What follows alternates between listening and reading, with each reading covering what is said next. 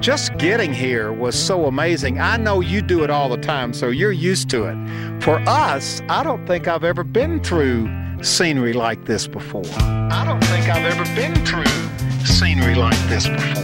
This is about as beautiful a place as I have ever been in my life. And if you want these kind of dreams, it's Californication. It looks like a postcard, like it ought to be on a calendar. And we're here to see it for ourselves.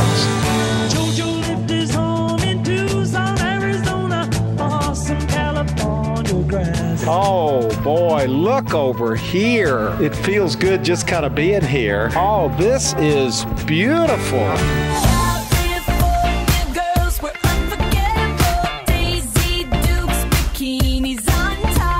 On this site in 1897, nothing happened. Nothing Made up my mind, make a new start.